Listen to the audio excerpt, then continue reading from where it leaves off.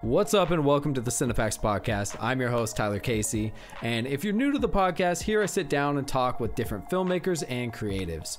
We listen to their stories. I also answer questions that you guys ask, and we also get some tips and tricks along the way. This is episode 41 with Sunny from Redwall Studios. He started a film studio out in San Jose, California, in the Bay Area. It's a crazy popular studio, and we're kind of just going to talk all about that. How's it going, man? Yeah, man. I'm happy to be here, man. Happy that you that you didn't uh, didn't cut me off, man. Cause I know that you failed to make it happen a couple times. For sure. Yeah, no. No, it's all good, man. We've been trying to set it up for a while, but you've definitely grown a lot more since the probably, I don't know, probably like two or three years ago that we tried to set this up. So, yeah, man. For sure. Yeah. I mean, one thing that I've noticed that I do want to dive in um, is originally, let's just get straight back to the beginning.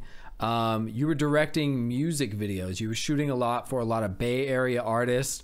Um, I can't remember all the videos you've done. You definitely worked with a lot of even just like some bigger artists. Um, I remember you worked a lot with I'm Sue and Showbanga, and you've had just yep. countless videos. So, kind of tell me how that all started. You started shooting music videos. That started a while back, man. I want to say I'm terrible with time, but that's got to be at least five years ago. And the way it started was I was a music producer first. And even before that, I played bass in a band. So that's when I kind of caught the bug for just like the arts in general. And then when the band broke up, I was kind of left as a bass player, which you can't really play alone. So from there, I jumped on the GarageBand, started making beats. And then I think around the time that like the, the what was the Canon, what was that full, the one that the the the first camera that dropped that had like the super like all the settings where you could do video on it. I think it was like a T. It was either the T2i or uh-huh. I mean the T2i and then the T3i were pretty solid, and then but the 7D was pretty solid too. I think it was uh, the 7D that had came out, and I seen someone filming on. I was like, "Yo, that's crazy! It just looks it looked like movies." You know what I mean? And I was like, let me just take a stab at it. And what I didn't realize that editing software is super similar to like Pro Tools and Logic, which is what I was already doing. You got your timelines, you got your effects. So when I saw that, I was like, wait a minute, I think I can make a kind of smooth transition here. And not only that, but I'll have clients because I already have a music studio um, creating music. So I did that, and man, I, I just it was like I went down the rabbit hole and I kind of never turned back. I didn't close the studio. Instead, what I did was I filled those spots with people who were better at engineering than me. Um, and that's kind of how the whole company started. But yeah, it was definitely because of those Canon cameras. I think our first camera was like a T2i that I got from Costco. I think like a kit. Yeah, yeah um, for sure. Was, from there, it was over, dude. Pulling yeah. like it was. I love that thing, man. What was it like the eighteen? to 55 it came with or something crazy like the, that like that kit, kit lens. lens right like a super plastic kit lens that had like a super long zoom on it yeah but it was dope man i love that camera that's like my first yeah. start with it and from there it was just dope man for sure. And then so you definitely started shooting a lot of videos for Bay Area artists. You were on how long would you say you were on like that music video type grind? Um that was a grind, man. But I saw a lot of people do it and they would get stuck in the same type of video over and over. It was like a hood video. And I knew I didn't want to do it. And I knew that that was most people's budgets. So I was like, you know what? I did a few of those, probably not even many, probably like two or three, if that. And I was like, I don't want to do that. I don't want to get caught in that grind. So what I did was I started investing. First, I would get the budget, a couple hundred bucks. And then I would either match that or just put a lot more of my own money to start building these sets. And I wanted to just instantly be different. So once I did that, I probably did like my first video with maybe 200 bucks. After that, I got 700 bucks. Um, then I got $1,000 and kind of moved up from there. But it was the investments that made it happen. Like it was just me putting in money, and I, I think I only made money that I was able to keep on maybe like my last few videos. Damn. You know what I mean? Like legit. Like I yeah. I'd never cared for that. Like I knew the I knew the goal was a bigger it was a bigger goal. It wasn't just just direct videos. Like I knew I wanted to get into like sets and studio design and whatnot. So everything was kind of just to build the resume. But I was putting every dollar back in, like with crew, with with props and everything. And most of them was just like me coming out of pocket. I'd be like, damn, I got you know several thousand dollars, but I ended up blowing a thousand dollars more than that because I had to put money into it. For sure, so, yeah, you cut out there sustainable a little bit in the middle, but I think I know it's all good. I think we got most of it. Um, Yeah, it's definitely insane reinvesting in yourself because I remember just seeing your sets and your lighting, and I was like, "Damn, like this, this is insane." It was like, especially just like in the Bay Area, there wasn't too much stuff going on like that. So when you were building yeah. these sets, were you building this at Redwall before it was actually Redwall, like before you were renting out Redwall? Yes. Well, I was actually building them out even before that. I would just find spaces that people had, somebody like a garage or a warehouse. I, I rent it for the day and I build sets there. Cause I didn't have Redwall, like the open warehouse until later down the line, like towards like probably towards the tail end of my directing. Um, so I was building them other places, but that got super expensive, obviously, right? Because I'm renting the place and I have to get everything there. So I was like, all right, let me just get my own warehouse. And then what's the film studios now? That was just a blank canvas for me to direct. So that's why it was just you know big open black walls, and I was building all the sets there. And then that's where everything kind of started to shift because people wanted to shoot. And they always wanted they saw the sets and they wanted to use the sets but they were commissioned for somebody else. And my mind kind of started switching over to like you know what? I'm already kind of over the directing part.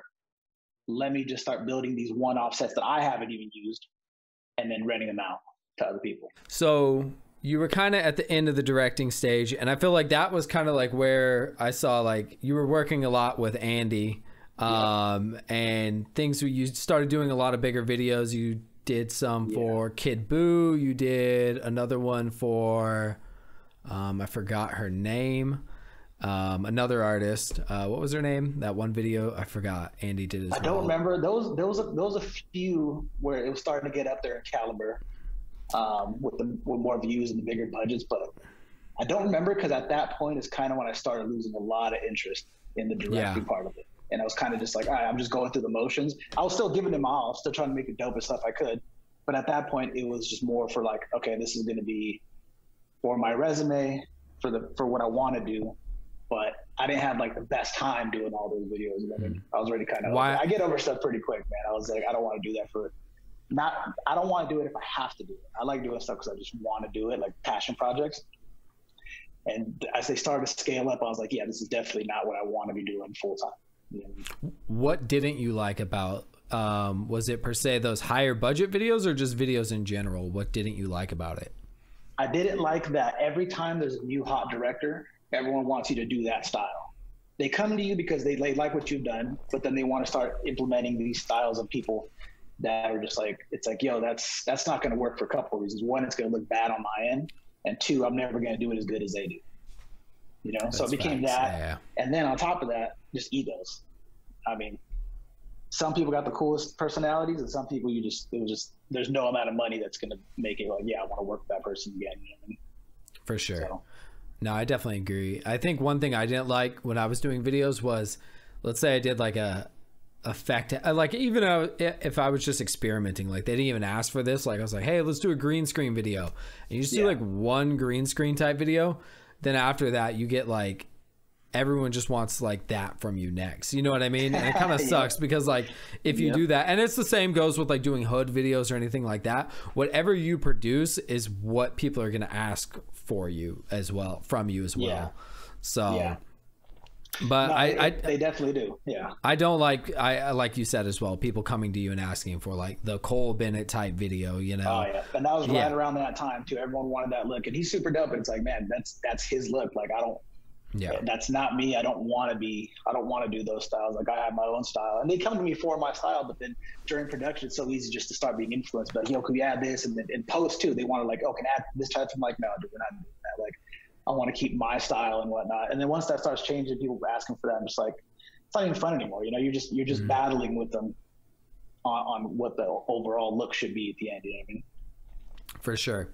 So once you finally kind of dropped the whole shooting music video. You were over it. You went full on on Redwall Studio um, yeah. in San Jose. So were you running the audio recording out of that, the music production still, or how did that? Um, how was were those running yeah. at the same time or?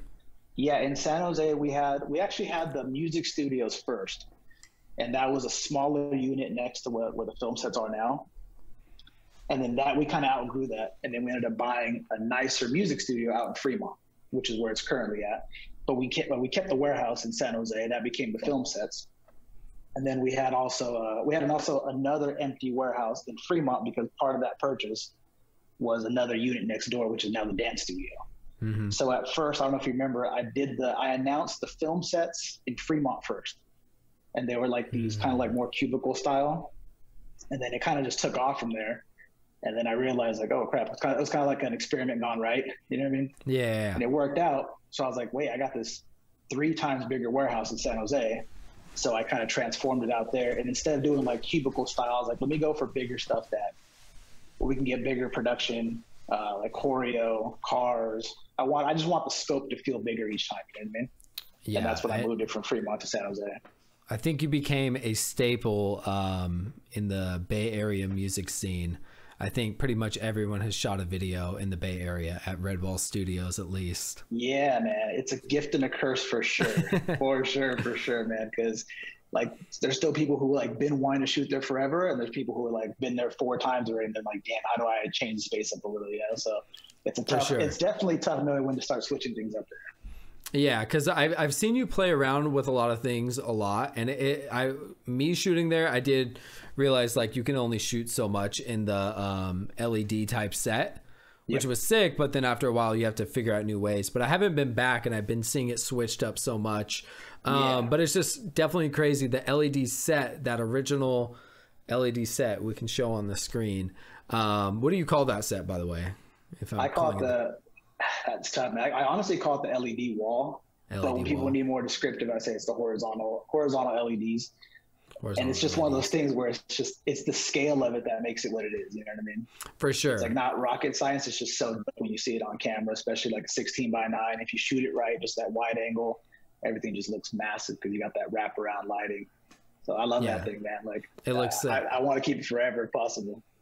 For sure. And you've definitely added all sorts of like little tweaks and whatnot that just make it easy for someone to like pull in, just get the shots they need. And you were even featured, I, I think I was just on Peerspace. Always, since we have our studios, I'm always browsing through Peerspace and just Yeah. keeping up to date with everyone. But it's definitely interesting. Uh, they hella use your photo like right there on the main page. So They that's pretty sick. Yeah. Yeah, that's pretty that fire. night, and I, and I screenshot. I was like, yeah, that's dope. I had no idea. Yeah. So Peerspace is showing some love. Yeah, dude. It's just it's it, it works well. It's just visually uh it's visually appealing is what it is. For sure. So, talk to me a little bit about your booking process. Do you prefer people to book specifically through Peerspace, or do you do it on your website, or which which method do you prefer, and what would you recommend for people starting out? That's a good question. Peerspace is definitely a must. Um, I feel like it, it attracts a certain level of professionalism when it's Peerspace because there's a lot more attached to it. It's like renting a hotel, right? You're gonna you're gonna respect the place a lot more. But the downside is they take a hefty percentage, and they don't pay you out right away. So you've done the work, you've paid out your expenses, but now you got to wait what seven days after your completed rental to get your money. So that part kind of sucks. But the insurance, uh, the ability to have them read everything before they book is super dope. But I would say we kind of we kind of figured out a booking method directly with the clients where we're able to weed out a lot of like the kind of the bullshit. You know what I mean? Because we've had you know we've had people that want to come for for the wrong reasons. They're just, yeah, I mean, they're not serious about the craft, and we're like, yeah, I just really wish we didn't run into these people. Um, so we have we have a good system now, but I would say it's like Peerspace is crucial now for people that don't know about your space, and if they're coming in Mhm. town, like you need Peerspace, but you need to have a solid way to book them separately too, because a lot of those people will come back and they're not they're just going to call you direct next time. For sure. So you got to be able to book them, you know, on your own and have a good good method in place. Yeah, and I think you also have to be careful too, like trying to go around Peerspace on Peerspace. Because Yeah, I think they will. They don't really like that. I mean, it makes sense from a business makes- yeah. standpoint, but yeah. Yeah. you just have to be careful of that. You can't just be like, "Hey, Venmo me 150 dollars or what, whatever." no, the co- no, no. You, you definitely can't do Peerspace, that. I'd rather keep it just on Peerspace. Yeah, because they can turn around too and say like, yo, they they they wanted me to book direct, and all of a sudden I'm like, I don't even want to know what Peerspace would do. Actually, if they found that, For might just sure. cut the listing off. So I definitely, I definitely appreciate what they do, man. It's an awesome thing, and like the insurance and all that. It's super, it's super comforting. You know, uh, yeah, it's it's. I definitely think the insurance is like a big thing, and it's it makes it so much easier. Just like ShareGrid, if you've ever rented Yeah. gear, it's just nice having that insurance through there. You don't have to deal with all that, especially like if you're dealing with bigger productions and whatnot. You don't want to have to like get their production insurance and. I don't know. Deal with all that. If it's all through Peerspace, it's it's cool. It's you're paying for the convenience, man. It's totally worth it. Yep, the convenience. So, what I remember for a while, you had like a motel set, and you had this whole other little wing of Redwall Studios. What kind of feedback and like what kind of made you like mold Redwall Studios uh, what it is today? What what kind of feedback have you received? Um, that's just kind of made you adapt. Okay, so so the motel scene was in the old music studio.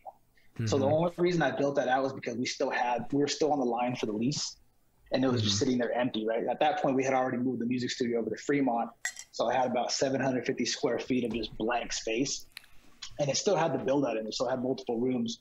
So I think I did, I did the motel set in there, and I think in the back, I even had a uh, was it interrogation room or like a I forgot what it was, but I think it was interrogation room back there. But that I knew I was only going to have until that lease ended. So when mm. that lease was done, I already knew I was getting rid of that. was kind of temporary. But as far as adapting, I don't. Funny enough, I don't get a lot of feedback as far as mm. like, yo, you should do this. To be honest, I get more like, oh, dope. I didn't even think about that, or like, I want to see what you come up with next. Like most people, I think, trust us to be like, yo, what can you guys do? You know what I mean? Yeah. So we don't get a lot of feedback. And if we do get feedback, a lot of times it's stuff that we don't want to do. It's like, yo, put another jail set in there or put some nets. I'm like, I don't, I don't really want to do that. For Uh, sure. So yeah, my inspiration mainly comes from like I would say probably like photography, architecture, things that just feel bigger in scale is what I'm kind of going for. You know what I mean? I like things. I want like a car to pull in and have it feel like a like an editorial photo. You know what I mean? Yeah. I want the lighting to be dramatic. I want I want it to feel. I just don't want it to feel cheap. You know what I mean? I want Yeah. it to be where it's just like, yo, you got beautiful lighting from everywhere. Everything's been thought out, convenient, and I think my resume of just building different sets has, has allowed me that flexibility where people are just like, yo, I want to see what you do next. You know I mean? Not so much like try this or try that. I do I do ask for feedback, but like I said, most time when it comes back, it's stuff that I'm like, eh, I thought about it, or I just don't necessarily want to do that. You know what I mean?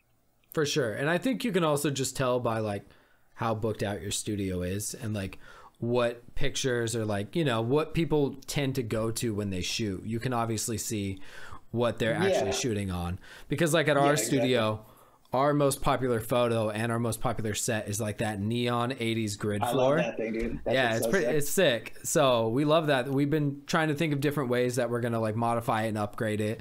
Um, and then so it's that, and then people love like the LED wall, which is like obvious, like it's a yeah. big ass LED wall. We want a bigger one, but like the cool thing about the square one though is you can like go really far back and you can like film it like with the floor and everything. So like not Yeah. like you're actually like so you can kind of you know put like some more artistic stuff. I really like the uh crazy projector that you have that you can like shape to like any different type of shape. So yeah, that's super dope. Yeah. that thing's pretty sick. Um, and I love just like the different like methods and ways you came up with like using it. It's uh, so is that thing still rocking? Um, It is. It's just it's not the most convenient thing to use, so it's more Mm-hmm. like a specialty item. It's not included when you book, but people know about it, so they'll be like, "Yeah, I want to use it." So they add it's additional fee. It requires definitely receiving files from them, you know, testing it out, yeah, because you can project onto anything. So the problem with that is, the problem is you got to really figure out like, you know, what's the budget, and do you want to do it on a car? If it's going to be on a car, the car has to be white. You know what I mean? Are we going to do it on some boxes? Or we're we going to do it against the wall? Um, and then coming up with how to make it pop because it doesn't look too good if you just blast it against the wall. You actually want to put it on. You want to put it into 3D space. You know what I mean? You want to have like maybe our LED wall on the back, something hanging, and then the projection on that. You know what I mean? Exactly. Yeah, stuff. So it's a lot more uh, work in the process, and and not only that. So we don't we don't include it, but yeah, you can you can definitely add it for a fee, and it gets a lot For of sure. interest. But once people start figuring out how long it takes, they're like, all right, maybe we'll you know they really consider if they want to pay for it or not. yeah, for sure. Yeah, I know. I know. I did that one video that Hatch did with like the flames on the Kamaya video. or that Yeah. Damien Sandoval did. That looks super sick. And then I think we did another video, but I mean, I'm sure he's seen all the footage beforehand. I mean, it was really cool. I mean, um, I guess just like with the projection, you also have to just watch out from shadows, but it looks really Shadows, yeah. solid. Yeah. Yeah, that actually that setup was dope. That was real tight because the scale of it, and I think it was we had um, put what was like kind of like that glowing box in the center, right? Oh yeah, it had the glowing box. Yeah. So that that was able to light the subject without washing off the imagery. And the only thing we had to battle there was just the shadow of yeah of the projector coming in, uh, sure. which I thought about installing permanently, and just putting it so high up at an angle that it's kind of not a factor. But like I said, it's still one of those things where if we if we're gonna do that every time, it's gonna require a lot of a lot of conversation with the client prior to figure out what they want on there. So, what- matter of fact, how do you guys do with with the with the LED wall? How much like programming goes into that for each client? Um, it's so we have like a Mac back there right now, and I talked to like I was talking to my site rep guys yesterday, and we're having some trouble with it. But basically, we have a bunch of preset stuff, obviously like some stock footage, and then we have like different like subscriptions to stock sites like Storyblocks and whatnot. Yep. So if they want to go back there, they can just download something,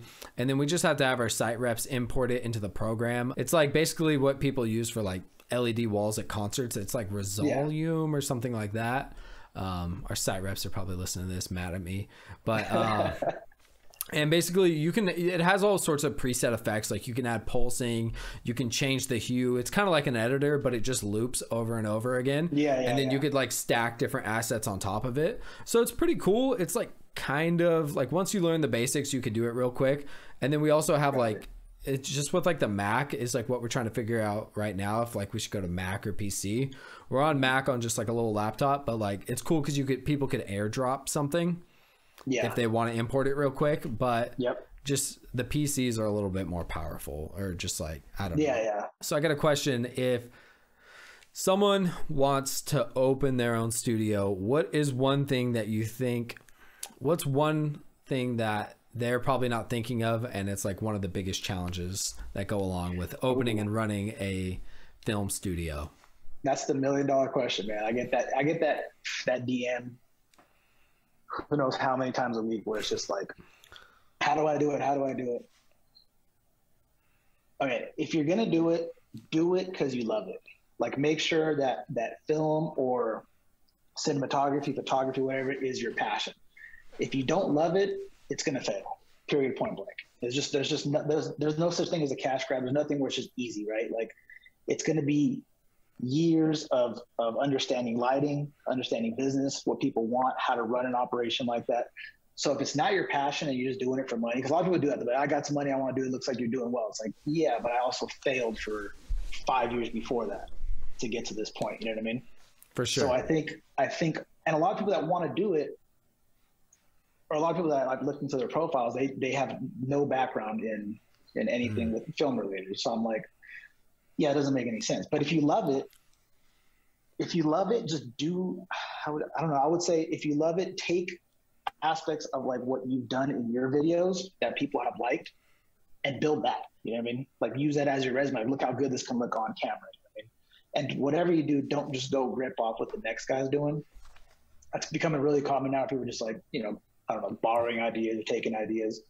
And it's like, yo, there's enough money for everybody, but just be original. Because if not, what you're going to do is you're going to end up just kind of messing up the market, really. You know what I mean? Just trying Yeah. to be the cheapest, the cheapest. That's how we end up with, you know, everyone trying to compete with the same set. But it's like, yo, man, just be creative. Like, or if you're gonna, For if you're gonna borrow it, like add something to it or change it. Exactly. That's what I was gonna say. If you're gonna borrow something, at least remix it, add a little something, Yeah. add your own twist. Make the make the person who originally made it be like, oh, like that was a good idea, you know? Like, exactly. oh shit. Exactly. Nah, yeah. I, I saw a few Redwall ripoffs down in LA, so I'm I'm excited that you'll be out there because I'm sure uh, Yeah. you've seen the the Redwall ripoff and I've seen LA. a couple, which I got nothing against, man. I, I like that. Like, there's pros and cons, right? When you see it, you get kind of bummed out because you're like, yo, you know, like, you know that they borrowed some ideas, and it's it just you never, you know. But the good thing is it shows that the market is growing. Like, there's a need for for spaces, right? So sure. that's a good sign. But I think what's happening now is there's going to be a point when people are going to have to at least understand like how to not be in each other's ways so that we can make the market grow and work together as Mhm. opposed to being like, oh, that dude's got a dope set. Let me rip it and just knock off 50 bucks. You know what I mean? Yeah. Because what's going to happen is we don't just make up the prices. We actually sit there and go, okay, this is the amount we need to cover our costs, to operate, to be able to continue to build. And when people get into the game, they just look at it like, oh, if they're charging that rate, I'm instantly just going to beat them. But they don't understand. It's like, no, man, you got to think about your payroll, your insurances, your leases. There's mm-hmm. so much that goes into it. And I think a lot of people just hop in and go, okay, how do I undercut? And then you're like, see, what's happening is you don't realize like you might win some business, but one, you're probably not going to do it the same because you don't have the amount of experience in it. And two, you're going to get to a point where you cannot continue to operate it at that cost. And then exactly. people get used to that cost, and then we all have to raise our rate again. People are like, "Well, I don't want to pay that." Well, it's like, well, you you kind of you know you screw the marks. It's the same reason when when you go to different stores, the iPhone costs the same price. You know what I mean? Or cameras cost the same price because they're they're protecting the market. If not, someone could buy that camera for 100 bucks and sell it for 101 and just do quantity all day. But then you mm-hmm. screw up the market overall. You know what I mean? Exactly. Um, that goes for anything in business though. That you have to really protect the market. You got to one understand that you're part of the market, and then and then work to make that market bigger. The minute you start undercutting people, it's it's a it's a temporary win, and then I've I've seen people just slowly just their product goes down because they have no there's no finances for upgrades and changing things and growth and paying their people. So you get turnovers and and like for us, we like to pay our site reps good. We like to make sure that everyone sticks around for a long period of time so they can give a better experience. You know, I mean? we're for not sure. just doing it for quick dollars. Like we want. I mean, this stuff's expensive. A lot of stuff we do and put in here, like it's you know thousands upon thousands of dollars, but we want to make sure it's the dopest. You know? No, exactly, and that's um, one thing we try to do. Like, like the reason like why we started Cinepack Studio is mm-hmm. we saw the other studios in LA, we saw what they were doing, and we instantly had ways that we wanted to improve and like I think that's where it can come from as well. Like let's say you go shoot at yeah. a bunch of studios and you're like, "Oh, I wish I had this," or "I'm always renting mm-hmm. this," or you know, "I'm always building this in my garage." Like if you can take that problem that you always have and turn it into your studio, that's one way that you can go about it as yeah. well. One problem we saw is it was annoying like we let's say we did like these run and gun shoes for like our Cinepacks promos and we go to a shoot and they would want to charge for it. and I'd hear it from other studios. They charge me for a table, they charge me for a Bluetooth speaker, oh, they charge me for a C stand, yeah. and I'm just like it's fine to charge for like we have a fogger that uh hazer that we rent out. It's a four five hundred it's Andy's original like five hundred dollar hazer. Like yeah. we rent it out for like I don't know, like 20 something 50 bucks which is which is reasonable. That's what it goes for on ShareGrid and we even do a little bit cheaper because it's you know it's an expensive hazer. But like yeah. the c stands the bluetooth speaker all that stuff it's all included. Like you guys can use it like yep. just makes it easier. You don't have to load in as much stuff. You don't how many times do you end up somewhere and you're like, oh shit, my I don't have my Bluetooth speaker, or even if you don't think about it and you just turn it on. So that's one thing yeah. that we wanted to do with our spaces, it just originally. And I know you always have a Bluetooth speaker. You haven't, you've never charged me for a, a Bluetooth speaker or anything like that. No, so, man, we don't we yeah. don't charge for those things. It's like it's super awkward because one, you're going to get into uncomfortable conversations about like why I have to pay an extra twenty bucks for something that's sitting right there Two, yeah. that piece of gear makes the space look better. So sure. you're only ruining it for yourself. It's like now now your client's not going to get the full experience. And when they talk about it later, they're going to be like, eh, it wasn't what I thought it was. Or it wasn't like the photos yeah. because they didn't want to pay for everything. It's like, here we give you everything except actually everything. There's there's some Astera tubes that are not included for for obvious reasons. Yeah. But everything else, even down to the laser now is included. Where it's like yep. those things are bank, you know what I mean? And, but it's just included for the convenience. Like there's, you know, there's refrigerators, tables, chairs, Wi-Fi, everything everything's included. It's a fog machine. We refill it all the time. So I think that should be included because that's how you promote it. If you promoted the space that way, that's how mm-hmm. they should be able to receive the space. You know what I mean? Uh, but yeah, the other side is kind of gouging. I've seen people do it. It's like I get it. Yeah. I respect the grind, but it's like sometimes the space will be super cheap but then you see why because the add-ons are crazy. You know what I mean? Mm-hmm. It's like oh, mm-hmm. speaker, this and that. You're like, yo, I'm, i mean, just want just combine it. You know? Yeah, exactly. So I, I definitely, and it's kind of like that. Like I, we went to rent a uh, Peerspace. We were doing a promo with these like parkour guys, mm-hmm. and uh, we just wanted this parking lot. I saw it pop up in uh, in LA, and I was like, oh, this is perfect. So I go, and then like we get the cleaning fees, and we only had like two hours and they're like okay and you also have to pay for like security and it came out to like i wanted it for like two hours and i think it was originally like a hundred bucks an hour it came out to like eight to nine hundred dollars for like two Yeah. hours, and I was just like, dude, Mhm. like And this literally. t-. yeah, and I, I didn't even book it. We ended up booking something else. I'm just like, that's not even worth it. Like, Exactly. like it's just like where you like get to check out and the price gets way higher. Like, I feel like you have less chance of like if it's if you're more upfront, you charge a little more, and then your cleaning fee's not crazy, you might actually get that sale or get that booking. So Yeah, that's actually a good point. I don't. We don't even have a cleaning fee. Maybe we should Oh, consider okay. that though. I mean, Yeah, but, that, we- we kinda- that's just kind of included though. You know. Yeah, I think we include that just to like kind of pay our site reps. I think we put that as like our site rep type fee, something in there. I yeah, but I mean that's like one of the first things we realized in the beginning is um when people came in, they'd be like they'd go to one room and they'd be like, "Wait, like how much is this room or how much do you use the LED wall?" They're like, no, like this is all included. Like you can you can shoot whatever you want. So I mean that was pretty cool. Um but yeah.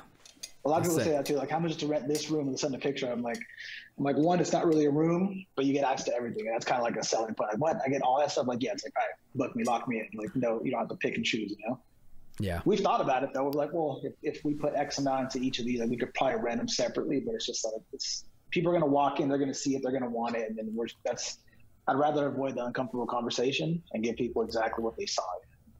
Yeah, I mean, one thing that we've realized though too is like lighting upgrades. So we have like Andy has like some of his lights there, like a 600D, just like some bigger lights that you would normally rent. And Yeah. Andy, uh, people are down to pay upgrades for those. Like, I mean, obviously it's like a fifteen hundred dollar light. We can't include that, just the wear and tear on it. But like, people are down to just like, especially in LA, are just down to like add that on if it's already convenient for them, you know. Um, So that's one thing. But uh, what's it called? Talk a little bit about you had the i8 BMW. Do you still have it or? No, man. So that thing was dope. that thing I had and never had to pay because it just got rented out in the studios. And then about what was it? No, a year ago, a little shy of a year ago, we ended up buying a house in Vegas to, to start this operation. And then I brought the car out here, and I was like, all right, this is going to be a bad daily driver to have because I didn't want to leave it in San Jose. That's where it was because if I if I wasn't in San Jose, I was going to be here for months. And then we just pick up the mortgage of a house. I'm like, you know what? Let me get rid of this thing because I have no idea what this is going to be like. Like a new studio, a new house, and then still having this car. And then sold it, opened up this studio not too long after, and then almost instantly regretted it. I was like, damn, could have totally done it. Would have been awesome because here people always fly in and don't have a car. Yeah. And they're like, yo, do you have a car? Then they see so many of the dope cars that have been here. Yeah. So I'm kind of like, shit, man, it would have been perfect. So considering doing it again, but at the same time, it's like another thing is that there's so many car rentals here that people just come through with like everything. You know what I mean? So there's no Yeah. shortage of cars. They just don't have them when they come in and kind of like, well, I don't know, let's just let's just let it rock as is. And then when the site reps here, he has to move it, you know, would have to move it in and out each time. And then when people see it, it's another one of those things where they see it, they go, why can't you just pull it in, let me use it? Um, so I'm like, I don't even want to deal with that right now. But in the future, it might be dope to do that for sure. For sure. Yeah. I mean, it's probably pretty fun driving an i8 BMW. So When it's free, it's the best, dude. yeah, that's It's the sick. fucking best for sure. Yeah, that's sick. That it could definitely pay for itself because I mean, it has those butterfly doors, which I think just give it that like video look. I see them all the reason we got time. I, it. yeah, it's a sick car. Exactly. Um, but yeah, I definitely do see what you're saying with the Vegas market. Like a lot of people go out there, they'll spend a bunch of money and they'll rent car crazy cars. You can even rent like for an hour and whatnot. So let's talk a little bit about the move to Vegas because tell me what went through that thought process. What made you want to move for to Vegas? Um, just give me a little rundown on that. Yeah, man. So Vegas started, the whole seed got planted when we would take uh, company trips out here. So we bring the guys out here. This is way before having a house out here in the studio. We bring the guys out here years ago, and we loved it. It was just a cool vibe. Like, you know, it's a, it's just it's an entertainment. It's it's a lot like LA in the sense that it's entertainment driven, right? Um, so we come out here a lot. We realized, yeah, we want to like we we should probably consider expanding the business out there, right? It was between LA and Las Vegas. But Vegas kind of won us over because we would go there a lot. We would go there just to, hang, you know, we'd come here and hang out. And then we're like, well, you know what? Let's just try it. And then obviously did some research, realized that the market was kind of open. Um, so about a year ago, we picked up a house to have a home base. Knew we wanted to be here regardless, even if the studio didn't work out. So picked up a house. It was like cool. It's a home base. Waited a few months, and then got the studio, built it out, um, and then it kind of worked, man. It's just it's it's it's it worked, and it brings a whole different level of like clientele, completely different, right? Like this, you know, like just earlier today and yesterday we had EDC DJs because EDC was in town, right? So whatever's in town, we tend to we tend to, you know, like it's like weightlifters, they're coming in, they're going to be bring doing photo mm-hmm. shoots and whatnot. So it's dope because it's a change of pace. You still get your music videos, but then you get to meet all kinds of people from all different walks of life from different parts of the world that came in for something specific.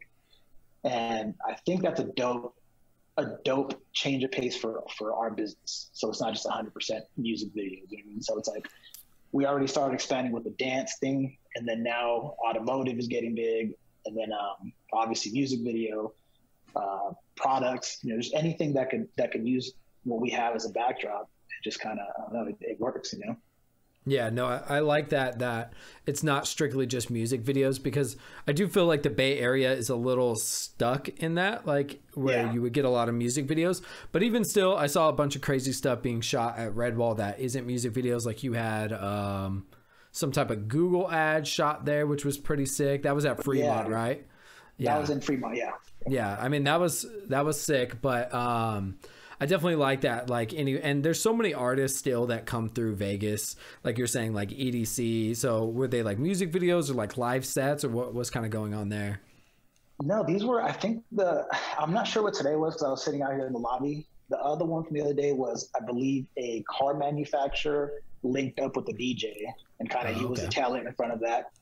Um, but it's just everything, man. Some people come do their sets here. We've had um, Vegas shows do like their promo reels here, and yeah. then we'll go to like the show and it'll be playing there. It's super dope. Yeah, I've um, seen the Jabbawockeez, yeah. right? Yeah, Sorry, they came the first week, dude. It was like yeah, the craziest, the wildest thing ever. It was just like, it was probably like the best welcome to Vegas we could have possibly had. You know what I mean? Yeah, for sure. And we had talked about it, so we're like, yeah, if the Jabbawockeez ever come, we pretty much made it. You know what I mean? And then a week later, or a week after opening, they hit us up. It's like, wow, crazy, dude. The wildest, yeah. wildest thing ever, man. So that was a real good, like a warm welcome for sure. Um, but yeah, dude, Vegas has just a bunch of different different talents that come through for different things. A lot That's of dance too. A lot of dance. Nice, for sure. And then business side of that, are you doing better on the taxes side being in Nevada, or does it not really work like that? No, we are. We're still paying as we're paying California taxes. Wow, because and, the LLC's in California or what? Yeah, yeah. I, am not too deep on that, but we have a CPA and we talked about it. We're like, hey, this should change things, right? He's like, it's not worth it's not worth the hassle. You're you're still a California based company and you're gonna pay those taxes. Like, yeah, ah, man, no way around it. Yeah, I mean, I'm sure there's a way around it, but it's just not worth it. Yeah, for sure. It's not worth yeah. it. That's something I, that's like not worth screwing around with. No, yeah, taxes suck. Taxes but, super suck. Dude. Yeah, super suck. Super yeah, suck, so. But yeah, that's cool. No, I definitely like the move to Vegas. I thought that was super smart. And then I'm sure you even I've even seen tons of people who are fans of the Redwall in San Jose. You know, people take trips out to Vegas all the time. Just like, hey, yeah, you know, like let's just go shoot out there. So I mean, I think it's solid, and I like that it's a little bit different too. You got the what do you call that? Like the chevron style what do you call that? Yeah, yeah. We took so like those kind of like the, the, yeah the chevron style, but the, it's like the arrows and neon arrows. Kind of like those. So that's obviously a play off of the LED wall in San Jose. We wanted something of that scale, but not the same thing. So we wanted to have the same impact, and that design just it lends itself well. It just gives it it gives it like motion. You know, I mean, you look at mm-hmm. it, it mm-hmm. just feels like something's moving or, or something's going on because of the angles to it. Uh, but I ske- I must have sketched out like a hundred different things on that wall. Like the first thing I did was like paint it take a picture of it, and then spend like countless nights at home just drawing different, uh, you know, different setups. And yeah, we even considered doing the same exact one just because I'm like, well, it's a whole new market. It'll probably work. You know what I mean? But I was like, nah, I want to challenge, and I think we hit it pretty well with this one. Um, there's always some things I want to do. Like the only thing with this one that I wish I would have done and still can do is completely wrap around. Like it's only on the mm. back wall and it doesn't wrap around, but it's a lot taller than our San Jose one as far as the mm. scale of it. So not as wide this way, but taller. So it still has it still has that impact. But I think if I wrap around that soft lighting will get even it'll be even nicer. Yeah. And one thing we didn't even talk about too is one of my favorite sets is what you do with the what do you call them? The driveways, the tun- the car tunnels, vehicle tunnels are sick. I definitely like that. that, yeah. I think yeah, that's that's super sick because I don't know, music videos, cars, you get all that in one, like you know. They tie in so perfectly, right? It's Perfectly. like that yeah. was so much wasted space. I, I learned that in San Jose when I realized that people were just housing all their gear in that area, and it was just a mess. And Yeah. I was like, that's a lot of open space that's being completely wasted. You know what I mean? And I was like, and I started thinking about like, wait, that's literally a carport. Why don't Mhm. we build this thing out? Had our contractor come and do it, and it was just like it was just it was probably one of our better moves for sure. For sure. Sick. Let's get into. I got some questions on Instagram that people sent over. Let's check these out. First question Joseph Media wants to know Did he look for a s- specific spot to build the San Jose studio or, uh, or build it to the spec of the space it's in? No, that was just because we were in that lease, and that was obviously the blank canvas for me to, to shoot my own videos in. So the sets were adapted to what we already had. Vegas different because we were able to find something that like Vegas we we looked for a very specific layout, but San Jose was just that's what we had. Gotcha. And what's the square footage um, of San Jose and Vegas? Vegas, I think they're identical, two thousand square feet. One Okay. This one might be twenty one. I'm not too sure, but they're they're they're both between 2,000 and 2,200 square feet. Next question. Jara Rojas wants to know how does it feel to be where you're at? Um, it feels good when you look back and realize what you built over time.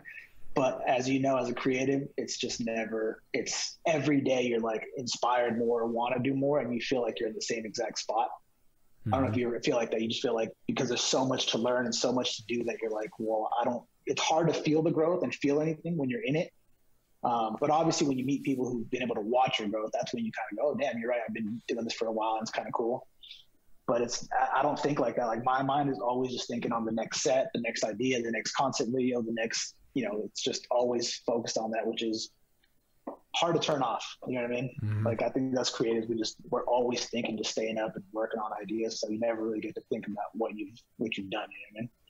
For sure. I think it is good to do that as well because sometimes, especially like I feel like just like working digitally sometimes, Yeah. um, whereas like you're not physically making anything. I don't know if that makes sense, but like where like you don't see what you've accomplished in a day sometimes. Like if I spend all day editing, like it's kind of like if I don't finish the edit, I feel like I didn't accomplish anything. You know what I mean? Like Yeah, if it's not like exactly. exported, even though let's say I cut like nine, 80% of the video or something, I don't know. Just sometimes I don't feel very accomplished. Like I feel like Yeah, it's got to be done. If it isn't done, it's like I'm a failure for the day. I didn't do anything. Uh, yeah, for sure. So it's it's kind of good to just look back what you did throughout the day or just over the years. But last questions.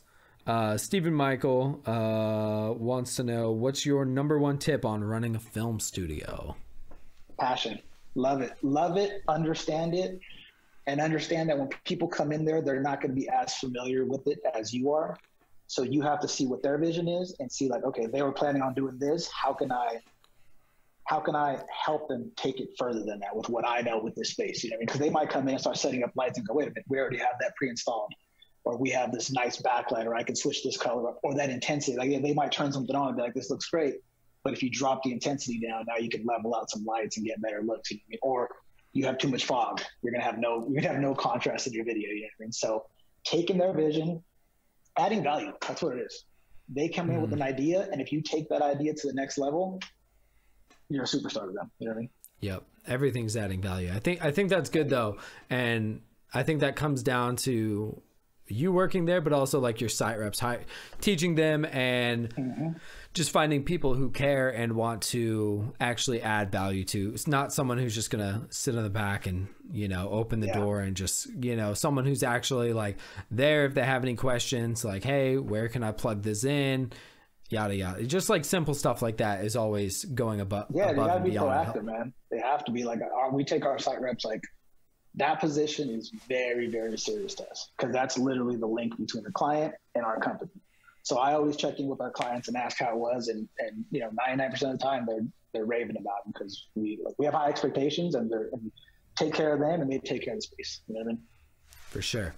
What is, if you want to talk about it, do you have a horror story of something that you maybe learned from um, early days of running the studio, or just like some big mistakes that you may have made when starting out, or just any time of running the studio?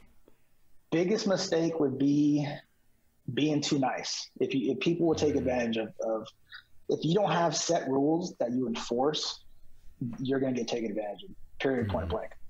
So for us, we realized that if we didn't start collecting valuable information from the clients, they're not going to feel they they're they're going to feel like they're just not liable for anything. So the minute we start taking IDs and, and names and, and you know uh, deposits or full payments in front, that changes everything because now they're telling their friends like, "Yo, take care of the space, don't do this," and then really, really regulating the amount of people that come in. We're not a place you want to. We're not. We build sets that don't lend themselves well to big groups. Mm-hmm. They work well as like you standing in front of it, your product in front of it, a car in front of it. But we're not here for the 20, 30, 40 people sets. Like that's not who we are. That's and we'll recommend you to other places if you if that's what you're going for. There's other places that are designed for that, but that's not who we want. We want definitely people that are coming in with, you know, minimal amount with the crew and that want to specifically use the sets that we have and they understand like, yo, I'm not just I don't want to just throw 50 people in front of that set, you know? Mm-hmm. So that, that's the biggest thing I learned is that you have to really enforce your rules and you can't budge on them. That's it. Even yeah. if it's money, it's easy to be like, yo, I'm gonna I'm gonna give you an extra couple hundred bucks to let 20 people. And that's where that's where shit goes bad.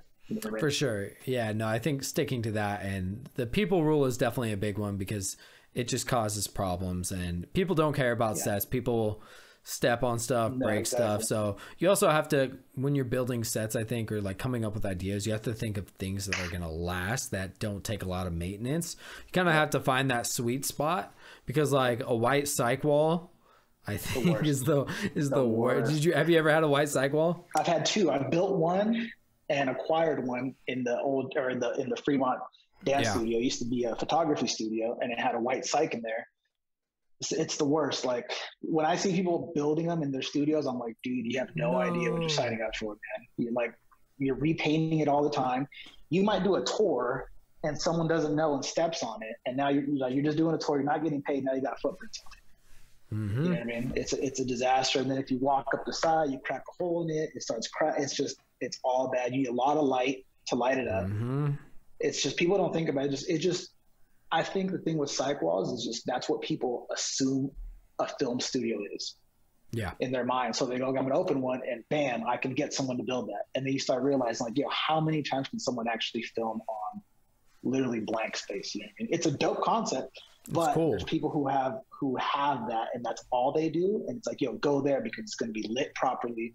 It's just going to be everything Space you need. Take, ex- exactly. Don't just try to throw it up and pop some lights on the side and get crazy shadows. Like it's just all bad idea to me. For sure.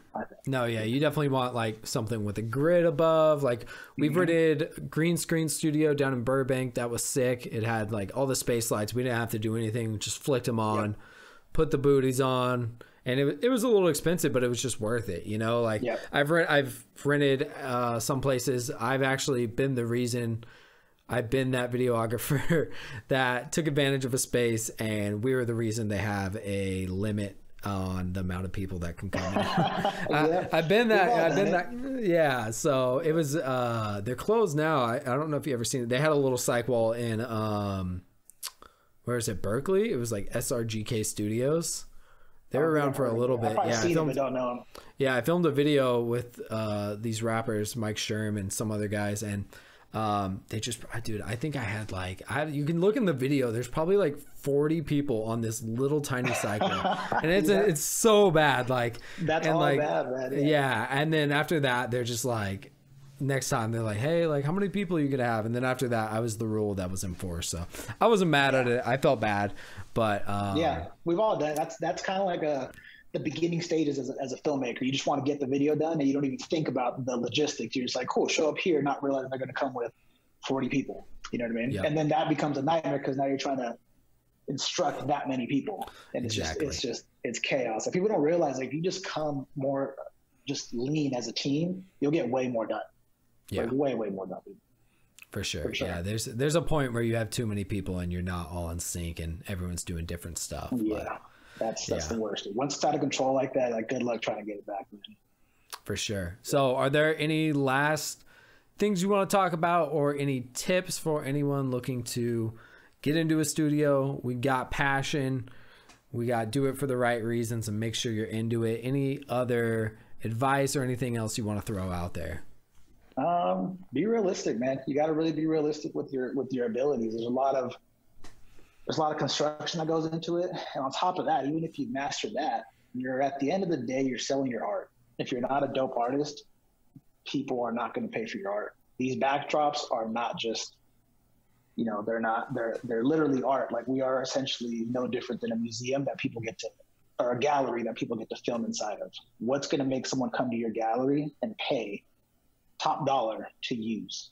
You know what I mean? So if you don't have that, don't just rush into it. Like understand that you need to have a vision. You need to have the ability to create it, make it happen. And you got to be able to just fix problems, adjust things. So you got to have some carpentry skills. You got to have some, some minor like electrical skills, um, know how to use tools, like things that people don't think about that it's like, if you, cause if you don't do that, I mean, you're going to just spend endless amount of money on contractors, all the stuff that you don't even think about because you just see the final product. Like, and, that, and I think we're all a little bit guilty of only promoting the final product. You know what I mean? So you see like this studio that's just glowing, and you're like, oh my god, like it must have been they must have put that up in a week. You know what I mean? It's like no, man. There's trial and error behind that. There's mistakes. There's endless amount of money that went into figuring out what's right and what's wrong. It's like I mean, paint alone. Get, like people don't understand how expensive paint is. Dude. It's the most expensive. I mean, it's just it adds up, man. Furniture. Yeah. Um, why is people need really need to understand what your capabilities are before you commit to this because it's a 24 at least for me it's a 24 7 grind. Like i put everything into this and there's not a day when i'm able to just take the day off. Like it's my it's problem solving all day long or someone broke this do i have another one readily available before I have 20 minutes to fix this light before my next client gets it because someone ruined that set you know mm-hmm. and if you build certain sets where you're dependent on i don't know objects or something that are rare it's like well now you just lost your set you know what i mean Mm-hmm. So be realistic with what you're what you're capable of doing for sure. For sure. Yeah, no, I think that's all solid. I definitely agree with just the fact that like you're also on like other people's production time. You know what I mean? So like if yeah. something goes wrong on their set, like and if your site rep can't fix it or you can, you know what I mean, you're going to have to fix that. Like let's say like your middle row of LEDs go out on your set, like Either you're gonna have to refund them, and then you also have to think like they planned all this. Like, let's say it's actually a legit shoot. They have like an AC coming. They have Steadicam. They have all these people coming that they're paying, and then they get there, and then just like something's completely broken that they were gonna. You yeah. know what I mean? So that's there's happened. a lot. We've, we've literally yeah. lost our key light at the very beginning of the shoot. Mm-hmm. And you just got to be a problem solver. You got to like, all right, who do I know that can get one in immediately? But you're right, like things like that happen. You got to really, and that doesn't really hit home until that crew is at your door, and yeah. then you're like, you like you open up your studio, like, oh, this is gonna be dope, and all of a sudden you're like, oh wow, this is a big production. Things cannot go wrong. You know what I mean? This yeah. has to work. Like, if they plug in an extra light, we can't lose our, we can't pop a circuit. You know what I mean? Mm-hmm. Like, it's so many little things that you don't realize, but but that has to happen for you to understand the uh, importance of that. You know what I mean? For sure. So it's trial and error, really, is what it is. But I mean, we still learn a lot of stuff every day. But yeah, you got to really be ready for. I mean, so much little things go wrong that you just got to be able to fix. It. It's crazy. How long did it take um, you to? Because you obviously said like this doesn't go up in a week. How long did it take you to just build and get set up, just running for uh, the Vegas location? It took exactly a month. Okay. So I think we got it in February 1st and we opened on March 1st and that was seven days a week. I don't think I don't even know if I went back to San Jose during that time. Uh, I yeah. stayed here, and it was endless. Like, and I'll be here till two, three, four in the morning every day, just knocking it out. But that's mm-hmm. because I learned. I already knew what I wanted to do. Oh yeah, I think it feels like a it feels like a new endeavor. That probably would have been more like a two two month process trying to figure it all out. But mm-hmm. I went in there with the game plan. I already had the layout of the space, and that definitely helped. Like we hit the floor like running on this one. I think that was it. I think that's pretty much. I had one more question, but I don't think I can remember it. Oh, yeah. good, what what do we got uh, coming next from Redwall? Anything we can look out for, or we're definitely looking at Los Angeles. Um, we're looking for the right spot. we've already took a tour down there. Didn't like anything that we've seen. Uh, it's so big out there that we thought we wanted to be in downtown, and then quickly realized that probably not. So we're going to Mhm. look for more of an outskirt. Um, so we wanted to be open by January, and it's probably not going to happen. You have to find a spot first, obviously, like a month or two to build it. So I would say we should be out there middle of next year, probably.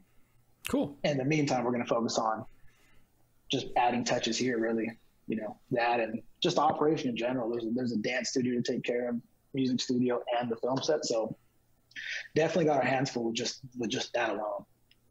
Awesome.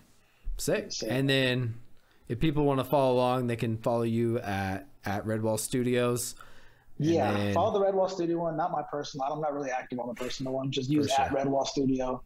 Uh, the website's theredwall.com, but that's just really a landing page that takes you pretty much to directly book or to our Instagram. So Instagram's really, you know, we're such a visual company that everything's going to be on there. Awesome. Yes, Sick. sir, cool. I think that's pretty much it. If you guys enjoyed the podcast, we do not have a sponsor.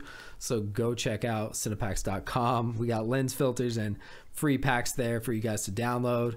Uh, make sure to give Sunny a follow on Instagram. Check out the studios. And if you're ever in San Jose, Vegas, or eventually down in LA, uh, definitely check out Redwall Studios. And anything else you want to say? Hey, man, I appreciate it. It's been a long time coming. Thank you. You guys are killing it too, man. So Thanks, man. Yeah, cool. All right. Thanks for listening, guys.